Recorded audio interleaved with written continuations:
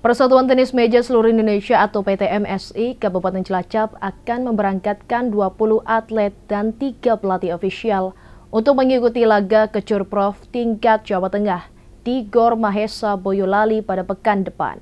PTMSI Kabupaten Cilacap targetkan 3 emas atau juara umum. Seleksi atlet Persatuan Tenis Meja Seluruh Indonesia atau PTMSI Cilacap berlangsung di Indoor Wijaya Kusuma, Kumilir, Cilacap. Seleksi diikuti seluruh atlet tenis meja yang ada di wilayah Kabupaten Cilacap, terbagi dalam beberapa kategori, yaitu tingkat pemula, kadet usia 15 tahun dan junior putra usia 18 tahun, serta usia dini. Masing-masing kategori diambil 20 peserta.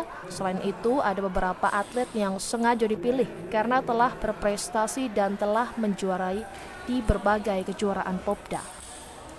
Ketua PT MSI Kabupaten Cilacap Hasanuddin mengatakan jumlah atlet yang akan mewakili Kabupaten Cilacap di Kejur Prof tingkat Provinsi Jawa Tengah sejumlah 20 orang. Mereka akan bertanding di Gor Mahesa Boyolali tanggal 27 hingga 29 Oktober 2023. Cabur PT MSI merupakan salah satu andalan KONI Cilacap. Karena itu diharapkan nantinya bisa meraih tiga medali emas atau juara umum.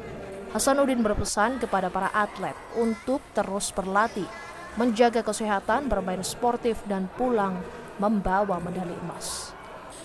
Dari Cilacap, Ramyana, Penyumas TV, laporkan.